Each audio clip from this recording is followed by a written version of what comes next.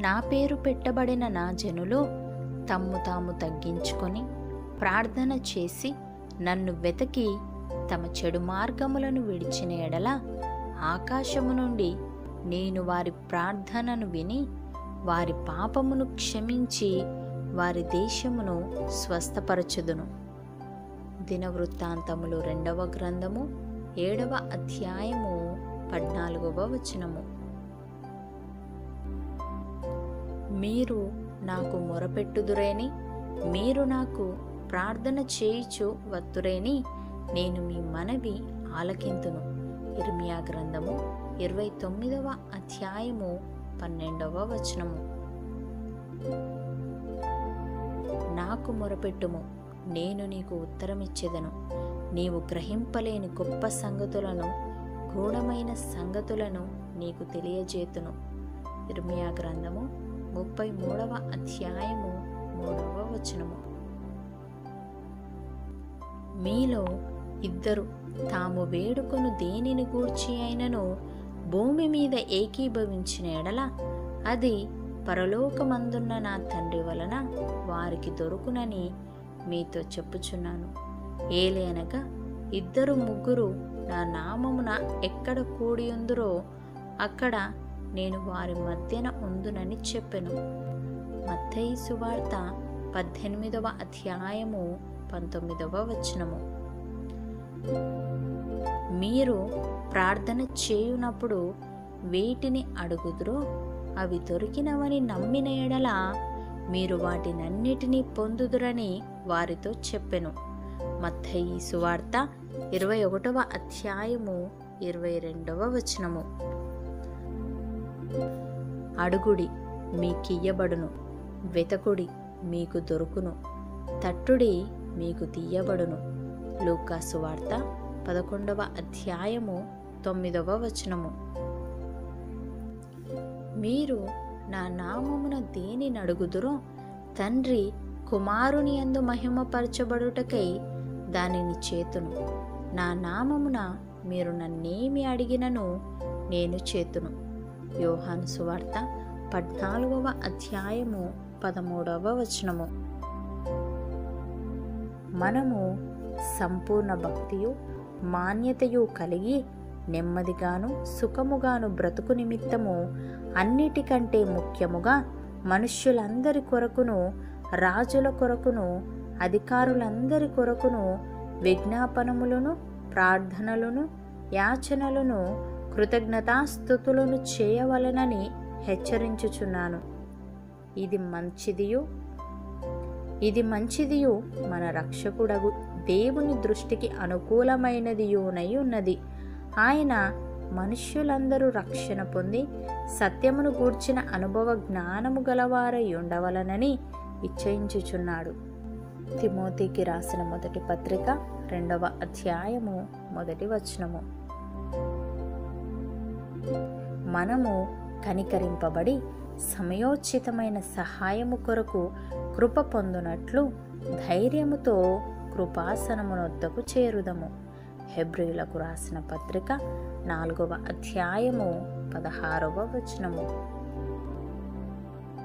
ఆయనను బట్టి మనకు కలిగిన ధైర్యమేదనగా ఆయన చిత్తానుసారముగా మనమేది అడిగినను ఆయన మన మనవి ఆలకించుననున్నదియే.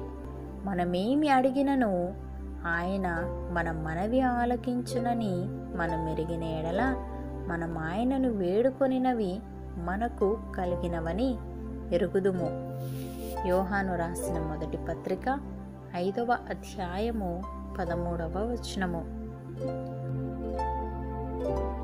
ఆయన ఆజ్ఞ ఏదనగా ఆయన కుమారుడైన యేసుక్రీస్తు నామమును నమ్ముకొని ఆయన మనకు ఆజ్ఞనిచ్చిన ప్రకారముగా ఒకనినొకడు ప్రేమింపవలెననున్నదియే. యోహాను రాసిన మొదటి పత్రిక మూడవ అధ్యాయము ఇరవై రెండవ వచనము. దేవుణ్ణి ప్రేమించు వారికి అనగా ఆయన సంకల్పము చొప్పున పిలువబడిన వారికి మేలు కలుగుటకై సమస్తమును సమకూడి జరుగుచున్నవని ఎరుగుదుము. రోమీలకు రాసిన పత్రిక ఎనిమిదవ అధ్యాయము ఇరవై ఎనిమిదవ వచనము. మహోన్నతుని చాటును నివసించువాడే సర్వశక్తుని నీడను విశ్రమించువాడు. ఆయనే నాకు ఆశ్రయము నా కోట. నేను నమ్ముకొను నా దేవుడని నేను యహోవాను గుర్చి చెప్పుచున్నాను. వేటగాని ఊరిలో నుండి ఆయన నిన్ను విడిపించును. నాశనకరమైన తెగులు రాకుండా నిన్ను రక్షించును. ఆయన తన రెక్కలతో నిన్ను కప్పును. ఆయన రెక్కల క్రింద నీకు ఆశ్రయము కలుగును. ఆయన సత్యము కేడమును డాలునై ఉన్నది. కీర్తనల గ్రంథము తొంభై ఒకటవ అధ్యాయము మొదటి వచనము. ఎరుషలేము యొక్క క్షేమము కొరకు ప్రార్థన చేయుడి. ఎరుషలేమ నిన్ను ప్రేమించువారు వర్ధిల్లుదురు. కీర్తనల గ్రంథము నూట ఇరవై రెండవ అధ్యాయము ఆరవ వచనము. బంగారమును శోధించినట్లు వారిని శోధింతును. వారు నా నామమును బట్టి మొరపెట్టగా నేను వారి మొరను ఆలకింతును. వీరు నా జనులని నేను చెప్పుదును. యహోవ మా దేవుడని వారు చెప్పుదురు. చకర్యా గ్రంథము పదమూడవ అధ్యాయము తొమ్మిదవ వచనము. మీరు శోధనలో ప్రవేశించకుండునట్లు మెలకువగా ఉండి ప్రార్థన చేయుడి. మత్తైసు వార్త ఇరవై ఆరవ అధ్యాయము నలభై ఒకటవ వచనము. వారు విసుకక నిత్యము ప్రార్థన చేయుచుండవలననుటకు ఆయన వారితో ఈ ఉపమానము చెప్పెను.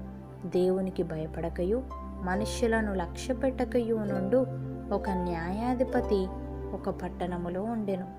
ఆ పట్టణములో ఒక విధవరాలును ఉండెను. ఆమె అతని వద్దకు తరచుగా వచ్చి నా ప్రతివాదికిని నాకును న్యాయము తీర్చుమని అడుగుచూ వచ్చెను. గాని అతడు కొంతకాలము ఒప్పకపోయెను. తరువాత అతడు నేను దేవునికి భయపడకయు మనుష్యులను లక్ష్య పెట్టకయు ఉండినను ఈ విధవరాలు నన్ను తొందర పెట్టుచున్నది కనుక ఆమె మాటిమాటికి వచ్చి కోజాడకుండునట్లు ఆమెకు న్యాయము తీర్తునని తనలో తాననుకొనెను మరియు ప్రభువిట్లనెను. అన్యాయస్తుడైన ఆ న్యాయాధిపతి చెప్పిన మాట వినుడి దేవుడు తాను ఏర్పరచుకొనిన వారు దివారాత్రులు తన్ను గూర్చి మొరపెట్టుకొనుచుండగా వారికి న్యాయము తీర్చడా? ఆయన వారికి త్వరగా న్యాయము తీర్చును. వారి విషయమే కదా ఆయన దీర్ఘశాంతము చూపుచున్నాడని మీతో చెప్పుచున్నాను. లూకాసు వార్త పద్దెనిమిదవ అధ్యాయము మొదటి వచనము. సహోదరులారా పరిశుద్ధమును దేవునికి అనుకూలమునైన సజీవ యాగముగా మీ శరీరములను ఆయనకు సమర్పించుకొనుడని దేవుని వాత్సల్యమును బట్టి మిమ్మను బతిమాలు కొనుచున్నాను ఇట్టి సేవ మీకు యుక్తమైనది.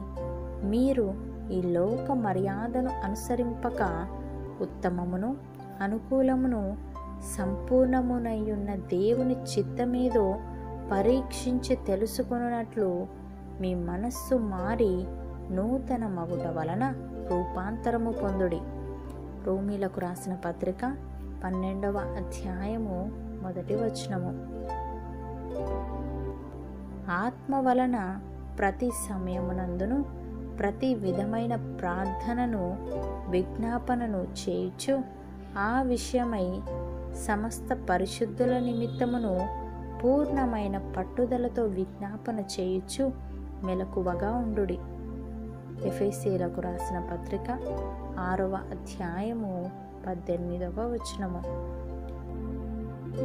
మీలో ఎవడైనను రోగి అయి ఉన్నాడా? అతడు సంఘపు పెద్దలను పిలిపింపవలను.